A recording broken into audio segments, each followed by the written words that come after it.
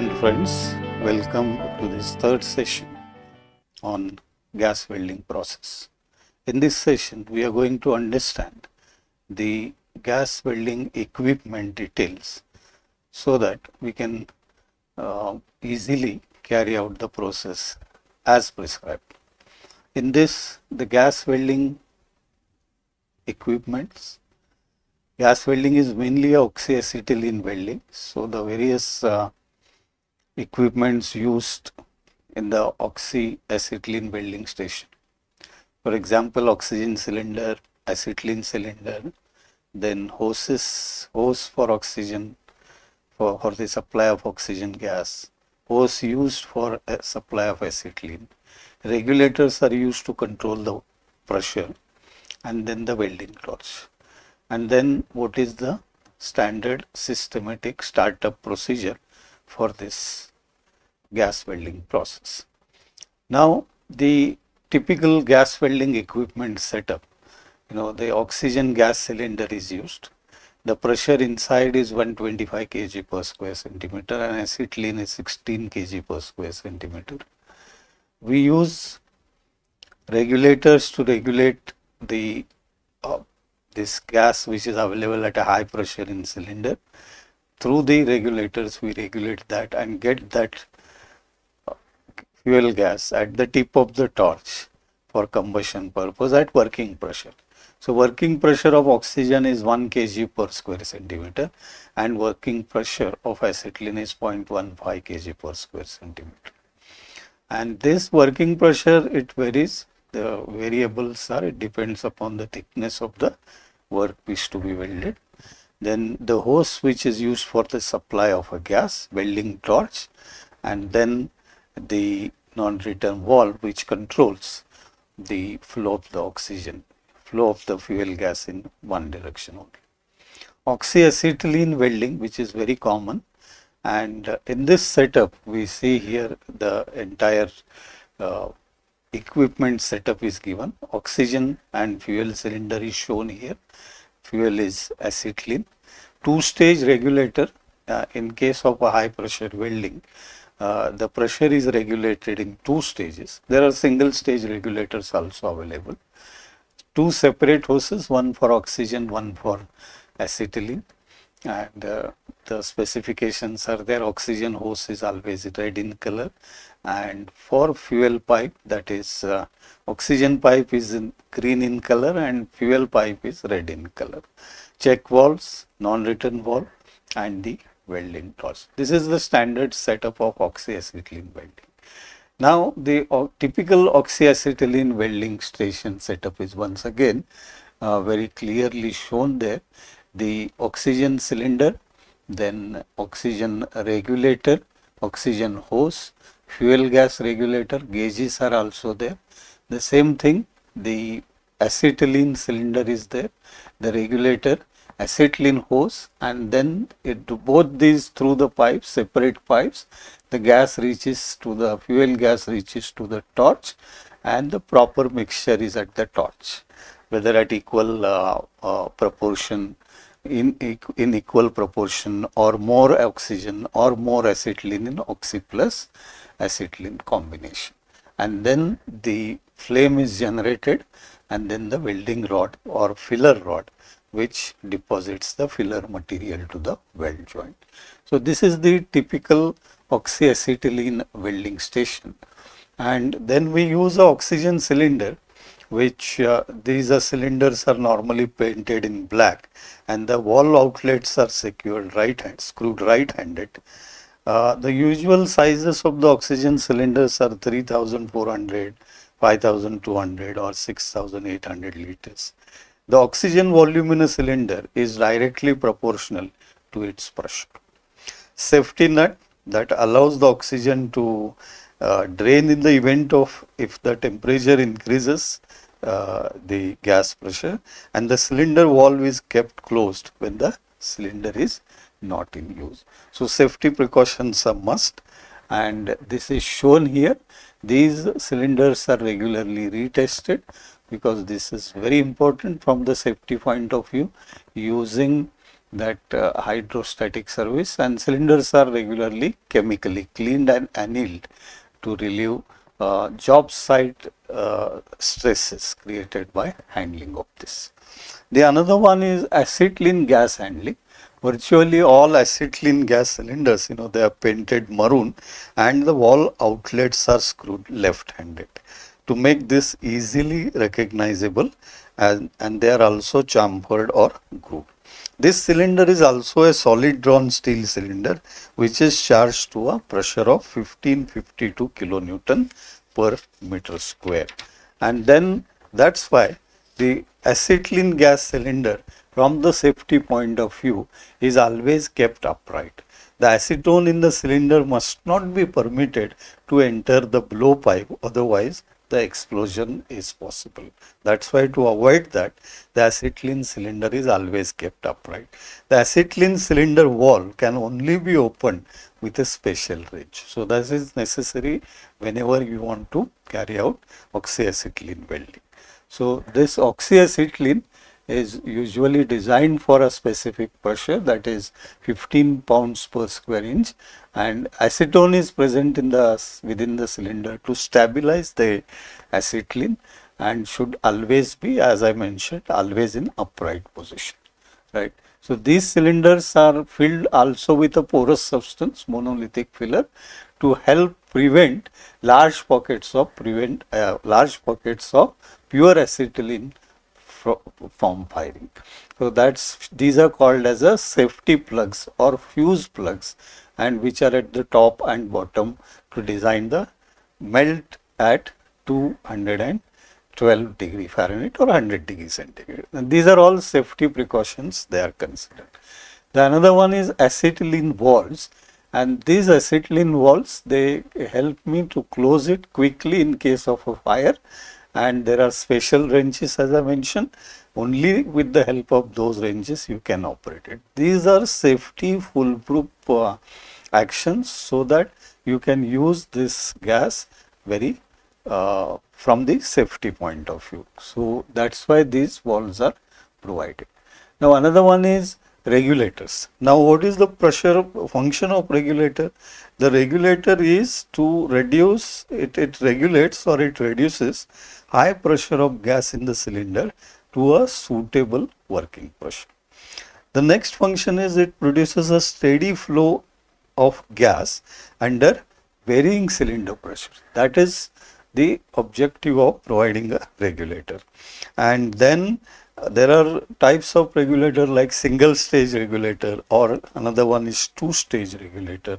And in this the pressure is regulated from cylinder pressure to a working pressure in single stage and in case of a two stage the output of a first stage is the input for the second stage and it again reduces the pressure and it gives you the level of working pressure which is required for the that particular joining. So that's why pressure regulator they play a very important role in oxyacetylene gas welding. Here there are some types of welding torches which are shown. Uh, broad classification is a high pressure torch or uh, equal pressure torch and the second one is a low pressure torch or injector type of a torch and these torch you know serves the purpose of uh, you know proper gas mixture mixing and it helps me in getting that desired uh, flame temperature, the cone of a flame, the envelope where the inner cone sufficient temperature, the outer cone where the different temperature and so that a properly welding a quality weld is possible. For that purpose there are various design of typical torch st styles which are shown here and this serves the purpose of whether you can use a torch for cut, metal cutting purpose also. In some cases you know a heating and a thin section welding is there and in cases of medium thickness welding these different types of the torch design helps me to increase the versatility of gas welding process. So these are some of the typical torch styles which are uh, which enhances the application range of this gas welding. Now another one is a typical startup procedure in gas welding is the, as this process is from a safety point of view is very crucial. That's why we have to follow a standard safety checkup before actually commencing the welding process. So first verify that equipment and the hose condition and then clean torch orifices with uh, tip cleaners which are available. Then again cylinder should be checked for its pressure, check the regulators whether they are in a good state and then come to uh, use those all safety equipments, shield, goggle and as well as helmet and then start the process of uh, this particular startup process. And then next condition is always use a flint and steel spark lighter to light the oxygen and acetylene flame. So that never use a butane lighter to light the flame. There is a possibility of uh, accident there. Now we see when we actually ignite that oxyacetylene mixture at the tip of the torch, we get acetylene burning in atmosphere. That is open fuel gas valve until smoke clears from flame, allow it and then whatever the neutral flame or carburizing flame or oxidizing flame, whatever the type of flame that you want, you can easily adjust it with the help of that oxyacetylene mixture setup which where that mix torch itself allows you to get that uh, mix, proper mixture addition and getting that desired flame. So neutral flame where the temperature is in the range of 3087 degrees centigrade uh, to a 3350 degrees centigrade. For fusion welding of steel, uh, cast iron, aluminium, then copper etc. These this flame is very commonly used and for braze welding oxidizing flame is used and uh, the standard setups which we use in this gas welding is first edge preparation is a very important because edge preparation decides the strength of a weld. So properly prepare that edge then open the acetylene valve and ignite the gas at the tip of the torch. Hold the torch at 45 degree to the workpiece plane, inner flame near the workpiece and filler rod at about 30 to 40 degree touch the filler rod at the joint and control the movement according to the flow of material. So this way we can securely complete the process of gas welding. The another very important one is hoses. The, the hose pipes which are connected to, through the regulator uh, to the cylinder, they supply the fuel gas to the torch. And these hose pipes, are very crucial for um, you know welding because the safety point of view the hoses which are oxygen the, which supplies the oxygen uh, they are uh, to edit for the identification purpose they are colored blue and has right handed thread connection as far as acetylene hose is concerned they are colored red and has left handed thread connection hoses must be strong non porous flexible and they should not be subject to uh, kinking. Otherwise, the uh, safety issues are going to, to be there. So, pressure regulator is another very important. Two gauges are there. One is the pressure of the gas inside the cylinder that is shown in one gauge. And the another gauge which is available it shows the pressure after the gas passes through the regulator. So, a working pressure which is available at the end of that uh, beginning of that hose which goes to the torch that is seen in the second gauge. So, whether available working pressure of the gas is uh, as per the requirement or not you can easily monitor it through these gauges. So, pressure inside the cylinder and after regulation the working pressure of the gas required is this is the function of the pressure regulator. So, pressure regulators they give us the safety as well as regulation of that gas pressure which is available at extremely high pressure. They regulate it through its mechanism and give us the reduction in the pressure and that high pressure gas which is available when it passes through the regulator is converted pressure is being reduced and the gas is available at the desired working pressure. So that is proper welding procedure is we have to use all the safety precautions, goggle, shield and as well as the hand gloves. And then the check valves allow gas flow in one direction only. There is a safety non-return valve is also available. And then flashbacks arresters are designed to eliminate the possibility of oxygen because the gas inside if it is uh, the combustion or ignition is taking place, there is a possibility of that flame going inside the uh, through the hoses into the cylinder and possibility of explosion that is not possible because of flashback arrestor and then the process is after that uh, open and light acetylene first and then open and adjust the oxygen to a neutral flame. When finished close the valves and then neatly coil hoses and replace equipment and the fire extinguisher should be very clearly available. So this way we saw the entire oxyacetylene setup. We saw a general gas welding setup because gas welding is oxygen or air plus fuel mixture and in fuel mixture there is a possibility of uh, acetylene or methane or butane or propane and normally oxyacetylene gas welding is called as a uh, gas welding is synonym with the oxyacetylene welding and that's why oxyacetylene gas welding station is described here. Uh, we use cylinders, oxygen cylinder, acetylene cylinder, then pressure regulators, then pressure gauges and then hose pipes and then the different types of the torch and that is at the uh, with the help of uh, proper mixture of the gas, the gas welding is carried out as per the requirement. So to understand, uh, now it's a quiz time. Let us uh, clarify our this understanding of a gas welding setup. The first question here is in gas welding, the hoses are mainly used for making the connection between the gas torch and regulator. Whether this is true or false. Answer is true. Answer is A. That is true because the in the gas welding, the hoses are mainly used for making connection between the gas torch and the regulator.